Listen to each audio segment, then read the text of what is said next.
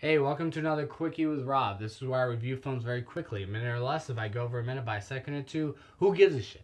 Today, I have the great displeasure of talking about the worst film I've seen all year The Last Witch Hunter. So let me start the timer.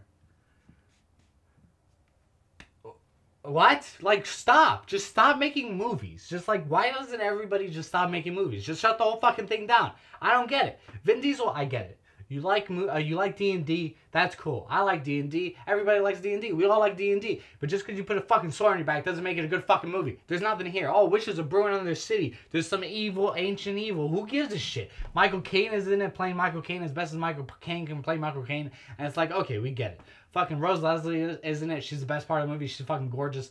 Um, Elijah Wood is in it playing a big fucking pussy. There's a screaming skeleton, which was kind of cool. That effect, that was cool. Um, but I don't really of it. And I only saw it a couple hours ago. It was a shitty fucking movie. Um, I remember there was like butterflies in a restaurant at some point, and this little Hispanic kid almost got molested by a bunch of gummy bears. I don't know. There's a, a lot of dumb shit in this fucking movie.